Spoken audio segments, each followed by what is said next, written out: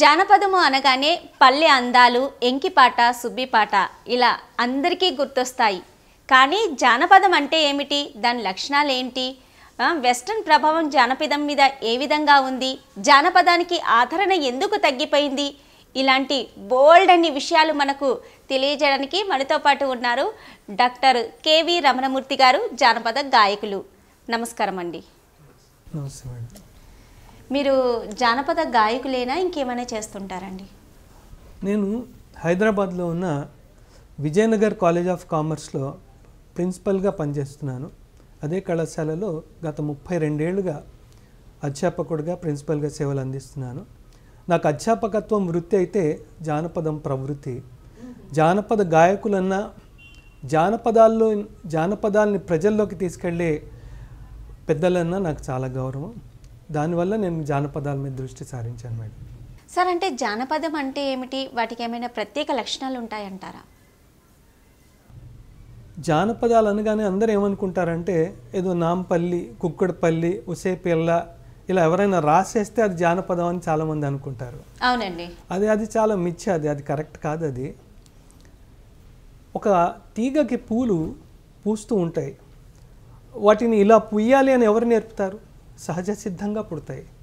ఎవరు నేర్పేరమ్మ ఈ కొమ్మకు? పూలిమ్మని రెమ్మ రెమ్మకు అన్నారు మహాకవి కృష్ణశాస్త్రి గారు.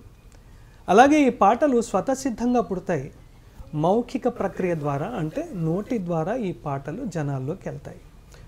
అంటే ఈ పాటకి కర్తలు ఉండరు. నేను రాసిన పాట నేను బాణిగట్టిన పాట అని ఎవరైనా చెప్తే అది లలిత సంగీతం అవుతుందే తప్ప జానపదం కాదు.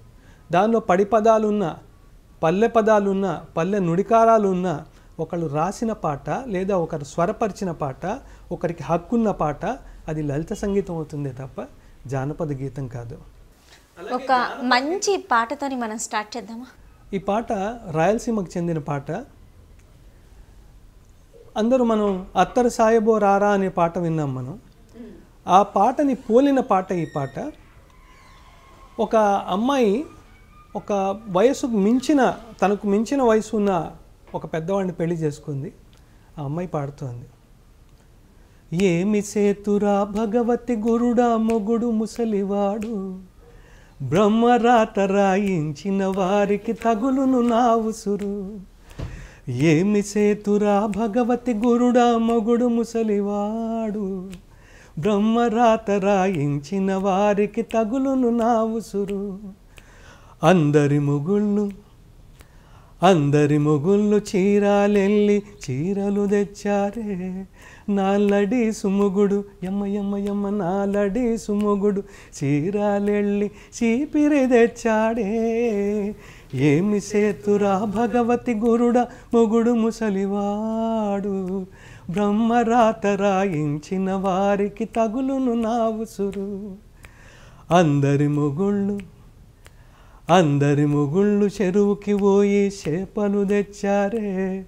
నాలడి సుమగుడు యమ్మ యమ్మ యమ్మ నాలడి సుముగుడు చెరువుకి పోయి కప్పలు పట్టాడే. ఏమి చేతురా భగవతి గురుడ మొగుడు ముసలివాడు. బ్రహ్మరాత రాయించిన వారికి తగులును నావుసురు. బ్రహ్మరాత రాయించిన వారికి తగులును నావుసురు. చాలా బాగుంది. అందమైన పాటతో స్టార్ట్ చేశారు. అయితే ఇప్పుడు జానపదంలో ఉన్న లక్షణాల గురించి చెప్పండి ఇంకొన్ని లక్షణాలు చెప్తానమ్మా. ఒకటి ఏంటంటే నేను ఇందాక చెప్పినట్టు ఇది నోటి ద్వారా ప్రజల్లోకి వెళ్ళే పాటలు ఇవి అవి చిరంతరంగా ఉండిపోతాయి. వాటికి సావు లేదు. అవి చావడానికి తావు కూడా లేదు. గొప్ప పాటలు ఇవి మనసుల్లోంచి పుట్టుకొచ్చిన పాటలు ఇవి దీనికి కర్తలు ఉండరు మళ్ళీ వీళ్ళకి భేషజాలు ఉండవమ్మా ఏదైనా తిట్టాలనుకుంటే ఆ తిట్టు కూడా ఆ పాటలో అది అనేయడం జరుగుతుంది. అదే లలిత సంగీతం అనుకోండి దానికి ఒక చట్టం ఉంటుంది. అంటే ఇట్లాంటి పదాలు వాడకూడదు. కళ్ళు అనే పదం వాడకూడదు. సారా అనే పదం వాడకూడదు. ఒక కొన్ని బూతులు ఉంటాయి కొన్ని తిట్లు ఉంటాయి ఆ తిట్లు వాడకూడదు. అంటే జానపదంలో ఇవన్నీ వాడుకోవచ్చు అనమాట మనం. నేను ఒకటి మీకు ఒక పాట చిన్నది వినిపిస్తా. ఇక్కడ ఏం జరుగుతుందంటే ఒక ధీరుడు ఒకడు ఉన్నాడు కురుమన్న అని. ఆ కురుమన్న అనేవాడు యుద్ధంలోకి వెళ్ళాడు యుద్ధంలో ఓడిపోయాడు. ఓడిపోయాక అతని శవయాత్రలో అతని శిష్యులు ఒక పక్క ఏడుస్తున్నారు ఇతన్ని తిడుతున్నారు. ఎలా తిడుతున్నారు? బండోళ్ళకు రూమన్న బలవంతుడానుకున్న బండోళ్ళకు రూమన్న బలవంతుడానుకున్న ఎంత రండ జన్మం కొడుకో బండోళ్ళకు రూమన్న ఎంత రండ జన్మం కొడుకో బండోళ్ళకు కురుమన్న ఈ విధంగా వాడు తిడుతున్నారు రండ జన్మం అంటున్నారు. రండ అనేది చాలా చెడ్డ మాట అది. కానీ ఏంటంటే ఆ పాటలో అది వచ్చేసింది. భేషజాలు ఉండవు. ఏంటంటే మంచి చెడు ఏది మనసులోంచి ఏది వచ్చినా సరే అది పాట రూపంలో స్పష్టంగా వాడు అది తన్నుకొని వచ్చేస్తుంది ఆ పాట. అదొకటైతే రాగాలు. రాగాల దగ్గరకు వచ్చేసరికి రాగాలు సంపూర్ణంగా ఉండవు. అంటే రాగాలు అన్నారు కదా రాగం రాగాలలో కొన్ని ఇష్టమైన రాగాలు కూడా ఉంటాయి. ఇష్టమైన రాగాలు ఉన్నాయి. వాటి గురించి చెప్తానమ్మా. అయితే రాగాలు సంపూర్ణంగా ఉండవు. మాండలిక ప్రభావం చాలా ఉంటుంది. మామూలుగా మనం సాధారణ భాషలో మంచి భాష ఏదైతే మాట్లాడతారో అంటే మాండలిక భాష కాకుండా స్పష్టంగా మాట్లాడాలని ఎవరైతే ప్రయత్నిస్తూ మాట్లాడతారో వాళ్ళు మాట్లాడే భాషలోని నా ధ భ ళ ఇలాంటి పదాలు అక్షరాలు ఎప్పుడు పలకవు. నా ధ భ ళ ఇవి పలకరు. కళలుని కళలనే అంటారు వాళ్ళు అంతే వాళ్ళకి అంతే అలవాటు. అది వాడి వాడి స్టైల్ అది అంతే. అయితే ఈ పదాలు ఉండవు. నెక్స్ట్ ఏంటంటేనమ్మా ఒక ఇంట్రెస్టింగ్ ఇష్యూ చెప్తాను. జానపదాలు అనేవి దేవుడి ద్వారా దేవుడు అడగడం వల్ల పుట్టిన పాటలని చెప్పడానికి తార్కాణం ఏంటంటే సౌత్ ఇండియాలో సౌత్ ఆఫ్రికాలో ఉన్న జానపదాలని పోలిస్తే రాగపరంగా సేమ్ మళ్ళా సాహిత్యపరంగా కూడా సేమ్ కొన్ని పాటలు. అంటే ఎలా సేమ్ అయిందో చెప్పగలరా? అది అంతే దేవుడు వాళ్ళకి ఇచ్చిన ఆలోచనలు అలాగే ఉన్నాయి జానపదుల ఆలోచనలు వరల్డ్ వైడ్ ఒకలానే ఉన్నాయి. వాళ్ళు వాళ్ళందరూ కూడా అసలు భేషజం లేకుండా వాళ్ళ మనసులో మాటలు చెప్తున్నారు. కాబట్టి మామూలుగా ఈ తెలంగాణలో పాట రాయలసీమ పాట కలవడంలో గొప్పదనం లేదు. సౌత్ ఇండియాలో ఉండే ఫోక్ సాంగ్ సౌత్ ఆఫ్రికాలో ఉండే ఫోక్ సాంగ్ కూడా టు ఎ మార్క్డ్ ఎక్స్టెంట్ అవి కలుస్తున్నాయి అన్నది చాలా గొప్ప విషయం అది. అది దేవుడి నిర్ణయం అని నేను అనుకుంటాను అయితే ఇందాక మీరు అన్నారు కొన్ని ఇష్టమైన రాగాలు కూడా ఉంటాయని. అయితే ఇష్టమైన రాగాలు ఏంటో చెప్పండి అలాగే ఒక పాట కూడా పాడండి. సరే అమ్మా. వాళ్ళకి జానపద గాయకులకి చాలా ఇష్టమైన రాగాలు అవసరాల అనుసూయదేవి గారు. ఆవిడ చాలా రీసెర్చ్ చేశారు ఆవిడ డాక్టర్ అవసరాల అనుసూయదేవి గారు. ఆవిడేంటంటే రవాణా సదుపాయాలు లేని రోజుల్లో అసలు రవాణా అనేది లేని రోజుల్లో ఆవిడ దేశ దేశాలు రాష్ట్ర రాష్ట్రాలు ఊరూరు తిరిగి జానపద గేయాల సేకరణ చేశారు. బహుశా జానపదాల గురించి ఆవిడకున్న అవగాహన మన దేశంలో ఎవరికీ లేదేమో.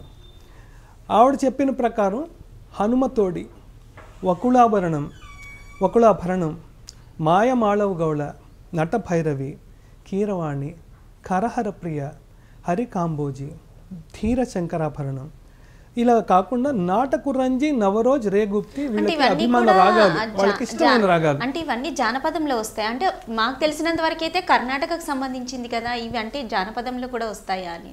పాట ఉన్న దగ్గర ప్రతి చోట ఒక రాగం ఉంటుందమ్మా. అయితే వీళ్ళు సంపూర్ణంగా రాగాన్ని వాడకుండా రాగ ఛాయల్ని మట్టుకే వాడతారు. వాళ్ళ మనసులోంచి వచ్చే ధారే ఈ రాగంగా ఈ పాటగా ఈ మాటగా ఈ బాణిగా జనాల్లోకి వెళ్ళి ప్రాచుర్యం పొందుతుంది. కర్నూలుకి సంబంధించిన జాతర పాట ఈ పాట. కిల్ల కిల్ల నవ్వినా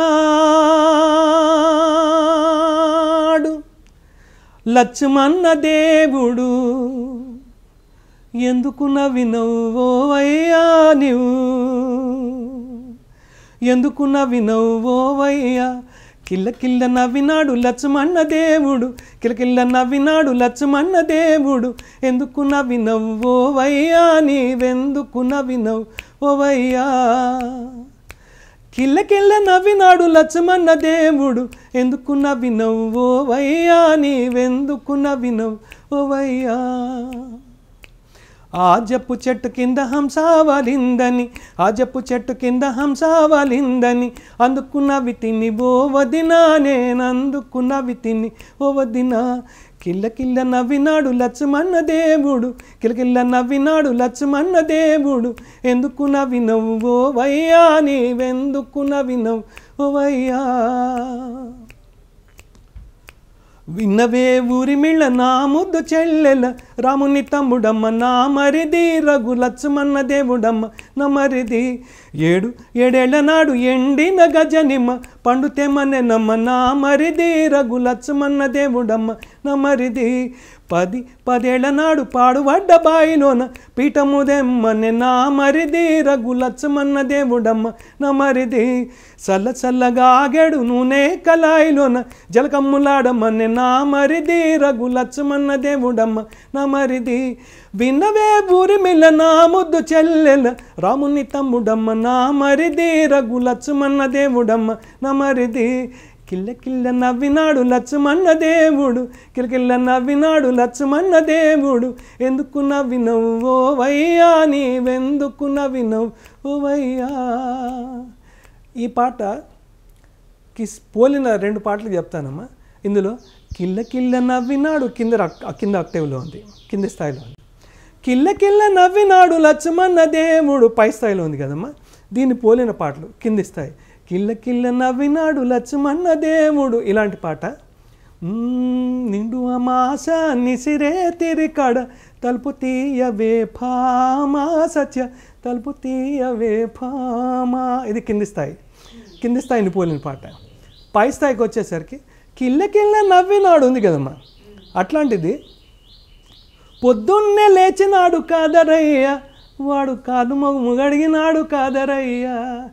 అంటే పోలికలు చూడండి రాగపరంగా అనుకోకుండా ఒక మాండలికంలో ఉన్న రాగం మరొక మాండలికంలో తెలియకుండా అప్రయత్నంగా చేయడం జరిగింది.